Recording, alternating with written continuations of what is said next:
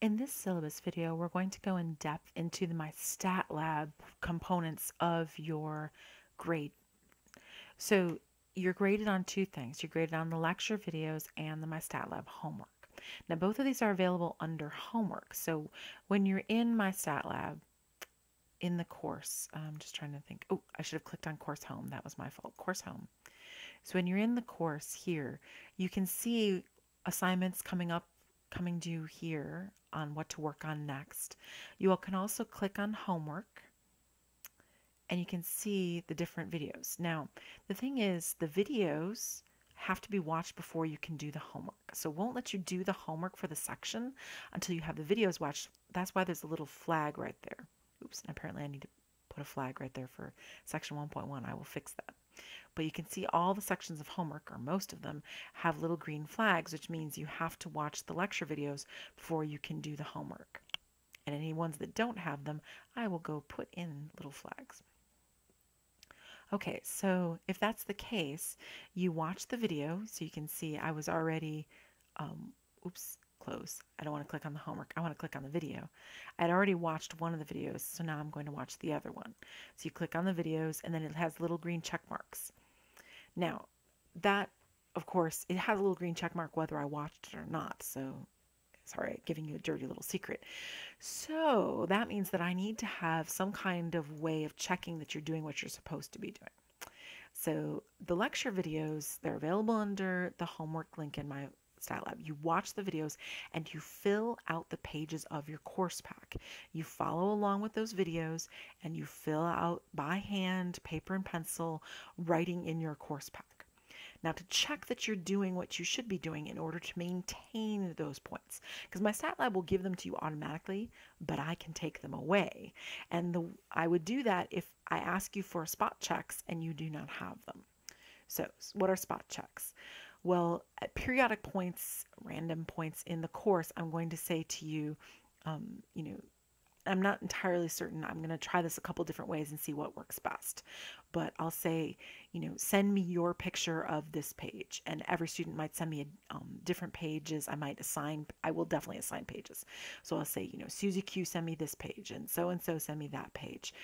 And you'll either email them to me, or actually, not email. I because Lord knows I don't need all these pictures on my email. It'll break my email. So what we'll do is um, you will either post them in the discussion board or you will um, put them into my stat lab under document sharing. I'll ask for it in the assignment email. So I'll send out an assignment email and say, hey, everybody, check out this email. Here's your name with your associated page. Post this page within the next couple days to my stat lab in the discussion board, which means you will go post in the discussion board. And I'll create a board for it for you to post. Or I'll say post it under document sharing and I'll create an area in document sharing for you to put that. So that means that you are watching along, filling out that course pack as you go. And if you do not have those pages filled out, then you will lose your video points. Now, where is all this posting going on? So there's two spots. There's the discussion board. Now, there are a lot of discussion boards here that you can't actually see when you go in. I see everything because I'm the instructor. So what I would do is I would make a page, make a board that has um, you know, spot check number one, and everybody can go post. You can see that these are all hidden from you. Um, so it'll say spot check number one, and everybody goes to post their page of those notes. Or um, spot check number, you know, week number two, spot check. And so everybody goes and posts their page. So I'm, I might do it in the discussion boards. Or I might also do it under course tools, document sharing so you click on document sharing. Email, by the way, is way you can both email me and other students in the course. Right now, there's nobody here but me, but you can email other students. Also, if you're working off of your iPad, um, the multimedia textbook is available here in an HTML format. So if, if you're working off your phone or your, or your iPad or, or some device like that, that's not as um, doesn't have as many bells and whistles as a computer. You can actually access the e-text that way under course tools. I left it in there for you. All right, so I would post in here. So there's computer project one area, computer project two area. I would post a category. I would add a category that would say, um, uh, let me think, week number five, notes spot check. And then students would go, there it is, week number five, notes spot check, and you would click on upload a document. You would upload it just for the instructor to see, possibly, um, although I don't think it's a big deal if everybody sees these particular ones. You would go choose the file from your computer and upload it for me so that I can click on it and see it there. If you're in the discussion board, um, click on the discussion board all right, so I will click on any of these discussion boards in here. So I could click respond, and then one of the options here is to attach a file. So you can, let me think, there's a hyperlink wizard there. Oh, there it is. It's the attachment. So you click down here on the little file clip, add or remove, and you would add a file. So you could choose a file in there to uh, save and attach right? So you choose your file and then you click attach that file. So I would click a file and then I click attach that file and then it would be there in the email or in the discussion board. And I would put my name and say, you know, Susie Q spot check. And here it is. I, you know, page number, blah, blah, blah. So you could say Susie Q, you could say page, you know, number, I don't know, 34, and then you would click add or remove, go find your picture of page 34, which you've taken with your phone or with your scanner or whatever, and you would post it there. So you'll have to uh, be able to scan with your phone. Um, which we'll talk about in paper pencil packets, but you can scan for free with a phone. All the smartphones nowadays have decent enough cameras that you can usually scan with free apps like Cam Scanner or Genius Scan. So you would just post it there, you know, email it to yourself and post it. All right, so that's how to get points for your videos and how to maintain them. Now, let me just give you a warning. There is a free tutoring that I mentioned in an earlier syllabus overview video at, available at the Center for Student Success on Central Campus, and it's wonderful. They can give you lots of help. However, I have warned them, and the, both the tutors know and their supervisors know, that if Math 133 students arrive with their course packs not filled out, in other words, you didn't fill out the notes when you watch the videos, um, those students should be directed to computers to watch the online le video lectures first. Only after those notes are filled out should they be receiving help on homework, paper, pencil packets, etc. In other words, watching those videos, as boring as they are, and they will be boring, and filling out your course pack is absolutely positively required and essential. You, it is your job to try to learn the material before you show up at the tutoring center.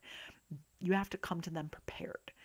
They are hired to help you with specific questions, but it's not their job to teach you chapters worth of material. Um, that is what the online lectures are for. If my online lectures confuse you, then go start watching the the other videos that are available under the multimedia library and take notes, right? Have pages of notes filled out so you can show that you're putting in forth the time and effort the course takes. They cannot in, you know, a 5-hour study session teach you chapters. They can help you with questions you're having. They can help you with struggles.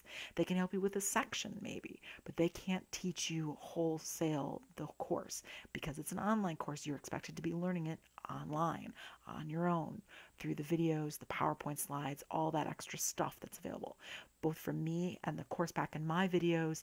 And then if you need extra help under my stat lab with those PowerPoint slides, those extra lectures, all that stuff that I've shown you in the multimedia library. The paper pencil packets um, refer directly back to those notes.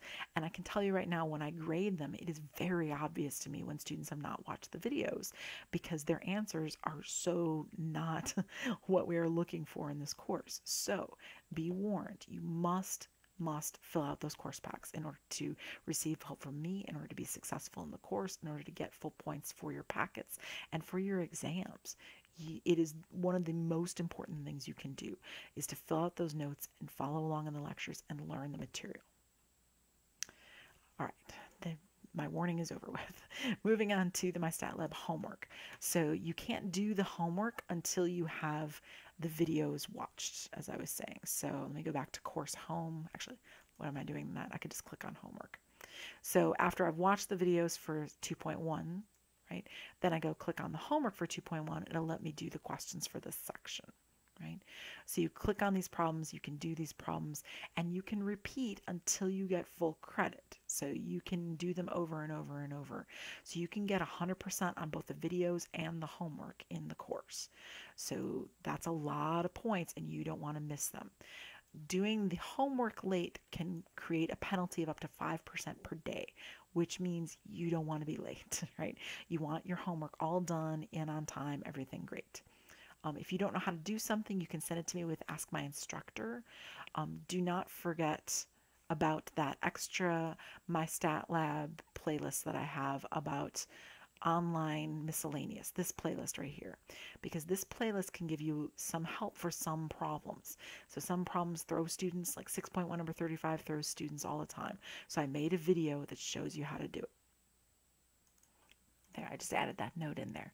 And that's, I get those questions from students asking them with this Ask My Instructor feature.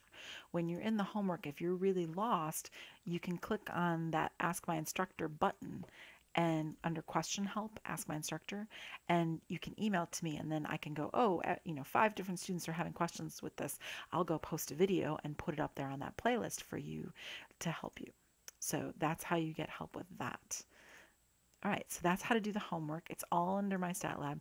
Remember, you must do the videos, you must fill out the notes, then you do the homework. Um, the MyStatLab homework. The MyStatLab homework is really just small time practice. It's it's not as in depth as the paper pencil packets. And those we'll talk about in the next video.